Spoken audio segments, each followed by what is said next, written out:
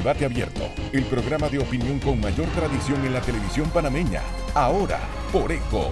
Periodistas de trayectoria con las preguntas que generan polémica. Hay los elementos suficientes para sustentar esa imputación. Y todos los que están ahora mismo en la Corte Suprema de Justicia en este momento están siendo juzgados por lo mismo ante la opinión pública.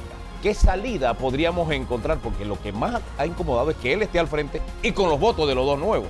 Debate abierto. Es actualidad. Es la tribuna para la discusión de ideas.